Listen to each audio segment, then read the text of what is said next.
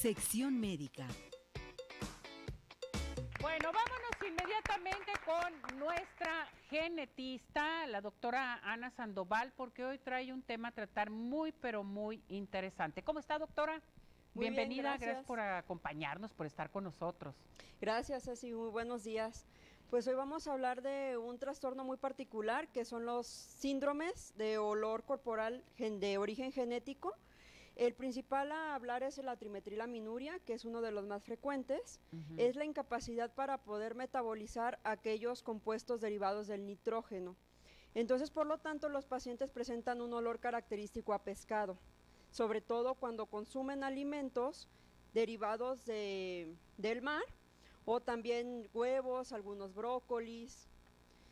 Y pues este el tratamiento consiste en evitar precisamente que consuman estos alimentos.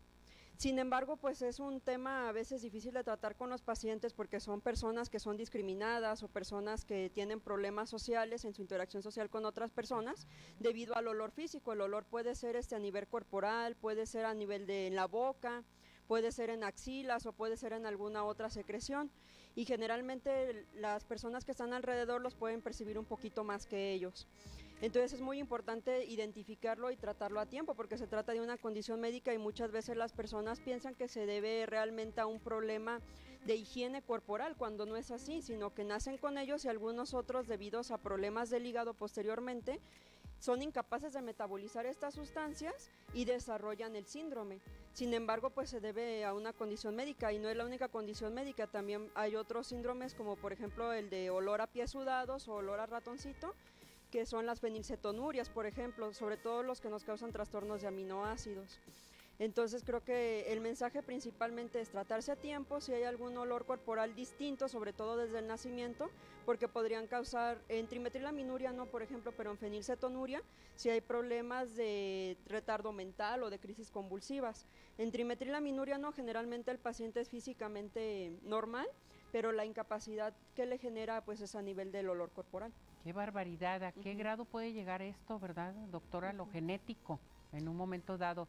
Y es una vergüenza totalmente, porque sí hay mucha gente que lo padece, ¿cierto o no? Sí, son despedidos de los trabajos, son bajados de los aviones, este, algunas veces se llegan a suicidarse por el mismo olor corporal.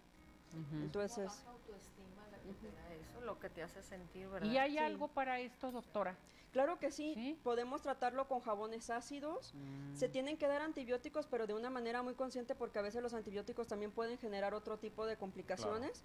Y también hay otra como carbón activado o también algunos tipos de vitaminas que también nos ayudan a, a ir mejorando este olor. Y pues dependiendo también del trastorno que se trate, porque no son los únicos dos trastornos, hay muchísimos trastornos este, de origen genético que pueden ocasionar esto.